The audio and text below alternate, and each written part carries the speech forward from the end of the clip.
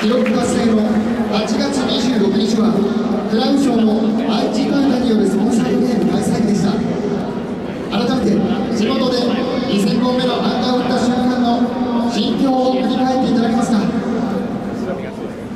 で本当に、えー、ここまで来るまでたくさんの人の力で来れたので、えー、本当に感謝の気持ちしかないです。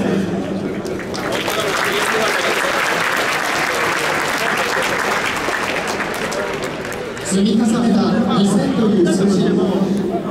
大島選手にはまだまだ通過点かと思われます。これからの目標をお聞かせください。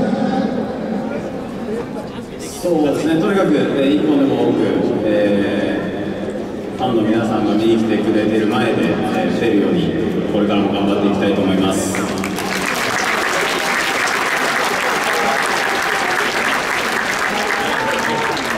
一方で今シーズンチームとしては厳しい状況となっておりますが野手最年長の大島選手から来シーズンの抱負を教えてください、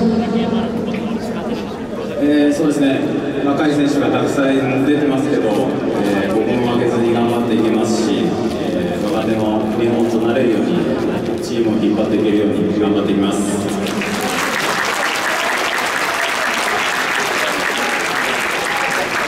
最後にファンの皆様へ一言お願いいたします、えー、残り試合も少ないですが、えー、一人でも試合を見に来てくれるファンの方のために、えー、精一杯プレーしますので、えー、残り試合も応援よろしくお願いします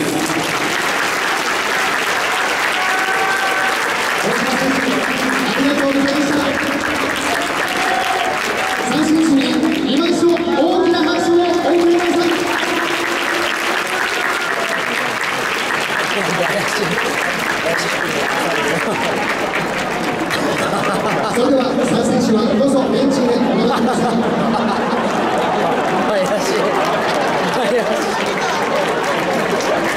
それでは岡林選手せっかくですのでクラウンの近くに移動をお願いいたします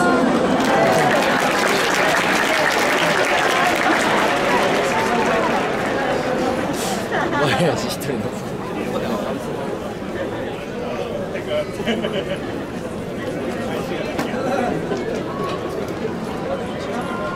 お待たせいたしました。